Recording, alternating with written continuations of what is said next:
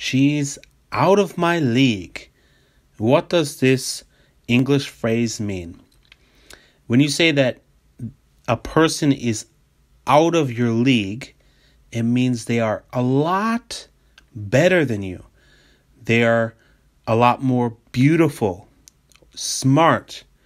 They have a lot more money, or they're a lot more successful than you. So we can say somebody is out of my league. So if I'm talking about a girl, I can say she's out of my league. We can also use this phrase when talking about other people. We can tell a friend, she's out of your league. She's out of your league. She's way more beautiful. She's way more nice than you. She's out of your league. He's out of her league. That means that the guy that we're talking about is much more successful, a lot better than the girl that we're saying it to. He's out of her league.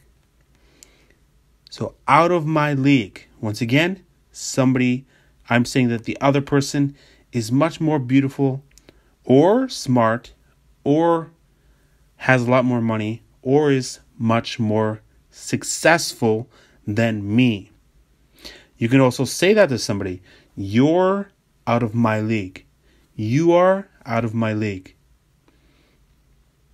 Or you can say that I'm better than you. I'm out of your league. I'm out of your league. Out of my league, out of your league, out of her league, out of his league. We can change the pronoun to whatever we want. To be out of somebody's league means to be much, much better than the other person. This phrase is also used mainly for couples, uh, for a girlfriend or boyfriend, for a husband or wife, or somebody that wants to be a boyfriend or girlfriend.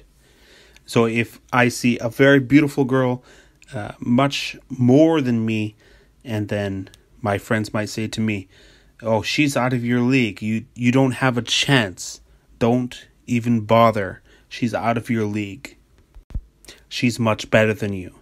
So this sums it up. To be out of someone's league means to be much better than them.